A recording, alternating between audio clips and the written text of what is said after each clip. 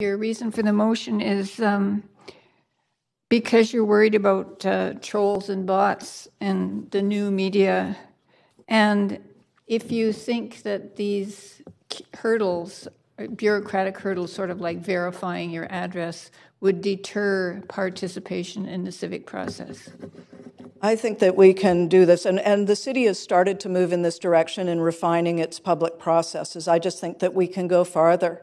Um, but ultimately, when the clerk says at the top of a meeting, we've received X number of pieces of correspondence, so many in support and so many in opposition, that's designed to tell us, the representatives, what the public opinion is.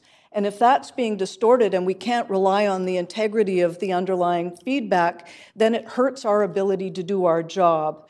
Online can be a real boondoggle, there's no question about it. Um, no one solved that problem, but we do know that we are living in a fake news, post truth world where the equivalent of bussing in your supporters is being done every day online. Okay. And uh, we should do something about it. Thanks, Councillor Boyle.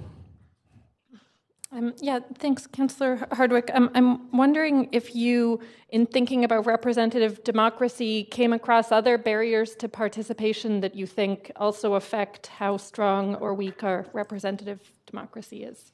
I think that again, um, this is I've I actually took graduate level democratic theory from Mark Warren at UBC, who was responsible in part for the Citizens Assembly, so and and has worked on Participedia. There are a lot of uh, innovations that are going on in the world of of uh, making democracy stronger.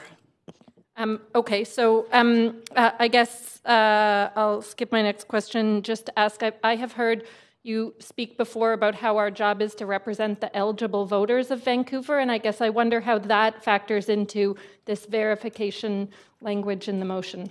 Well, um, we do have a, an electoral system again that's laid out in the in the Vancouver Charter, and technically speaking, we are elected by the electorate.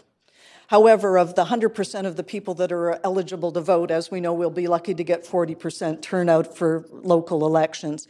So I agree that, that getting participation is a challenge on every level. Okay, but the uh, charter says specifically the inhabitants of the city, and so I would broaden the def- definition to correspond with that of the Vancouver Charter. Thank you. Uh,